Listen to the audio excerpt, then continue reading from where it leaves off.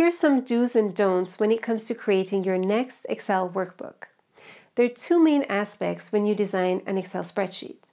First, the structure of the workbook. Second, the visual design of the worksheets. This video is brought to you by Excel Essentials for the Real World.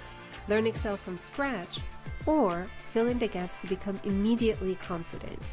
Discover hidden tips and tricks which get you working smarter, not harder. Click on the link below or type in xelplus.com slash courses. Let's cover structure first. Keep raw data separate to the analysis. By separate, I mean in separate tabs. Each sheet should have a purpose you can easily explain. For example, in this report, the Data tab has the raw data. Dashboard has the final report. All calculations are done in the Calculation tab, and the Control tab has a summary of the changes made to the dashboard together with timestamps. We create this report from scratch in my Excel dashboard course.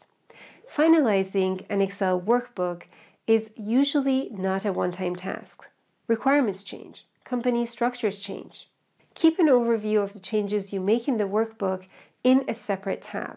Make a note of the change and add a timestamp. No one likes to document, but taking the time to do it is going to save you a lot of time later on.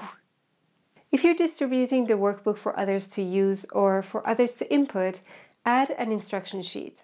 If you're using abbreviations or keys, define what these are on this sheet.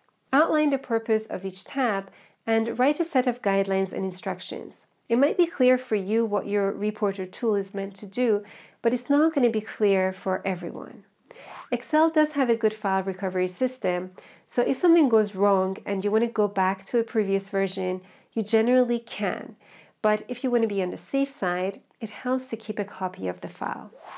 Now let's talk about visual design. If you think there's a slight chance that someone at the office will print out the sheets or export the file as PDF, make sure you prepare it for printing.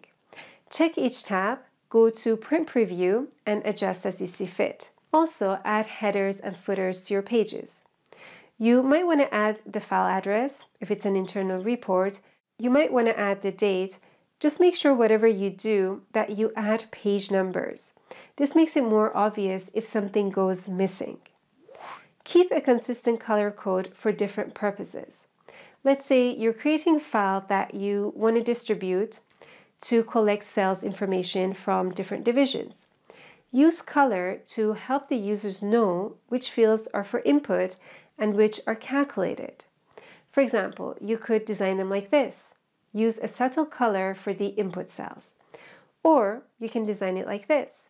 Keep the input cells white and add a color for the calculated ones. Whichever method you choose, keep it consistent throughout your work.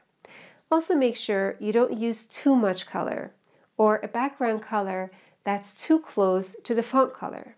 Ensure there is a good contrast so the content is readable. Basically, design it in a way that's appealing to consume. Use formatting, but don't use excessive formatting. A lot of us spend hours figuring out how to do the analysis and then doing the analysis.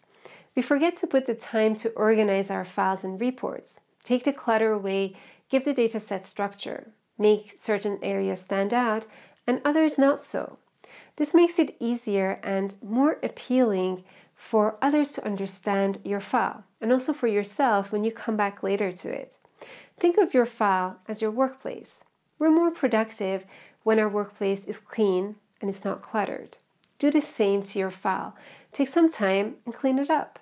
The other side effect of proper formatting is appreciation. Let me explain. Imagine your boss is coming over for dinner. You spend hours preparing a meal. You go to the farmer's market, you buy the best ingredients, make the best meal you've ever managed to make. Now, when it comes to serving him or her, you just dump everything on a plate and you serve. Your boss will probably not be too impressed. It might still taste amazing, but they're not going to appreciate all the time you spent preparing it. Like the saying goes, you eat with your eyes first. So if you just spend a few minutes organizing everything nicely on the plate, like good chefs do, your boss will love it. Put the same effort in your work. Organize before you serve. I hope you found these tips useful. Keep them close at hand. Refer to them when you create your next workbook.